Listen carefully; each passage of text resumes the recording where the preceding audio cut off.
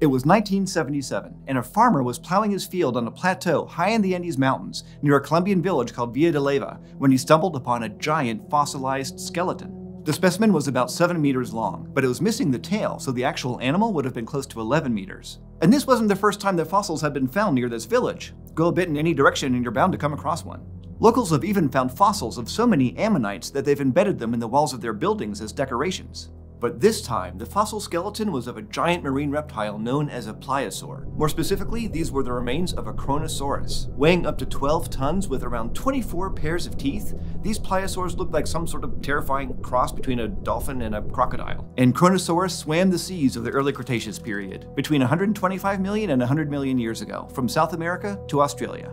Now, sure, sea levels were higher in the Cretaceous because temperatures were warmer and there was no ice at the poles. But sea levels weren't 2,150 meters higher, which is the altitude at which Villa de Leyva sits today. So, how did this giant marine reptile end up so high in the Andes Mountains? It required a major change to the face of the planet, one that took place over millions of years and radically altered the South American continent and everything on it to this day. Kronosaurus first showed up around 125 million years ago, when much of northern South America was underwater. And it, along with its pliosaur relatives, was probably terrifying to most of the things it shared the seas with. Pliosaurs were top marine predators in their day, filling a niche similar to predatory whales and crocodiles today. And the largest are considered to be the Tyrannosaurus rex of the seas. In fact, Kronosaurus was named after the ancient Greek titan Kronos, who ate his own children for some reason, because there's evidence that these pliosaurs ate members of their own genus. Now, pliosaurs are a type of plesiosaur, an extinct order of marine reptiles, and it seems that they also hunted other plesiosaurs, as well as turtles, ammonites, and basically anything that was smaller than it was. But the local waters that these pliosaurs lived in were about to change. South America was once connected to North America, Africa, and Antarctica as part of the supercontinent known as Pangaea, which started breaking up around 200 million years ago. But since the end of the Jurassic, the South American plate of that whole landmass had been moving westward. And about 140 million years ago, it ran into a smaller plate that was moving eastward. This was the Nazca Plate. The collision caused the edge of the Nazca Plate to get pushed under the South American plate in a process called subduction. And this subduction continued through the extinction of Kronosaurus and later that of all the plesiosaurs at the end of the Cretaceous. Meanwhile, on land, the survivors of the end Cretaceous extinction event were carrying on. The region known today as the Amazon was already covered with rainforest and crisscrossed by rivers. And fossils showed that marsupials and ungulates were abundant, as were crocodilians. Then, under the feet of those animals, bigger changes started to take place. Around 45 million years ago, the denser parts of the Nazca Plate started to sink under South America faster than the lighter parts did. This started the first of what would be several growth spurts that created the Andes. And it would have some major effects on the land and life around it.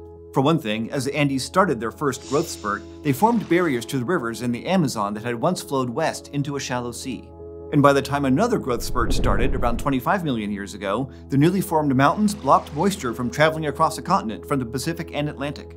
Instead, that moisture fell as rain on the Andes, washing sediments down into the Amazon. This eventually caused much of northern South America to become a giant wetland, fragmenting the former forest. And in these new swamps, aquatic life flourished, like mangrove trees, more crocodilians, and even one of the largest turtles that ever lived.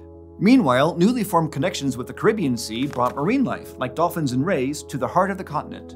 As the mountains continued to rise, even more sediments were carried into the Amazon. And by 7 million years ago, they provided fertile ground for a renewed rainforest that replaced the swamps. Now, this coincided with other big environmental changes in the Miocene epoch, like global changes in sea level and temperature, possibly caused by changes in Earth's orbit. And together, these changes were just too much for many of the animals that had once thrived there, like the giant turtle and a lot of the marsupials. So by around 6 million years ago, the Amazon River and rainforest looked pretty similar to what we see today. At last, it was time for the final push, the one that raised the plateau that includes Villa de Leyva, where all those fossils are found. Up until this point, the land in that area just wasn't as tectonically active as the rest of the mountain chain. But during this final pulse, the activity was so intense that it eventually lifted up this area too, resulting in a high flat plateau within the mountains. And so the land underlying this village had gone from being underwater to sitting at 2,150 meters, bringing Kronosaurus and all the other fossils buried with it to new heights. And the formation of the Andes has had a huge impact on the plants and animals in South America. For one thing, it created a type of ecosystem that's only found in the Andes in Central America, an ecosystem called a paramo. Paramos form between around 2,800 and 4,800 meters above sea level in humid alpine regions of the Western Hemisphere. And they consist mostly of grasslands and other hardy plants, as well as animals that have been able to adapt to this extreme environment. But since these ecosystems reached their current heights about 2.7 million years ago, changes in global temperatures have caused the boundaries of paramos to shift too. This has effectively turned individual paramos into islands, driving the evolution of thousands of species that aren't found anywhere else on Earth, like a strange and rather handsome hummingbird known as the buffy helmet crest. These habitats are also seasonal homes to some mammals, like the spectacled bear, the only bear species in South America. There are even species of lizards that give birth to live young rather than laying eggs, an adaptation that provides embryos with warmth and protection until they're born, rather than leaving the eggs out in the cold. And we can't forget about the world's smallest and most adorable deer, the northern pudu. The ancestors of many of these species are thought to have lived in these habitats before they became elevated, later diversifying in relative isolation as the Andes rose up.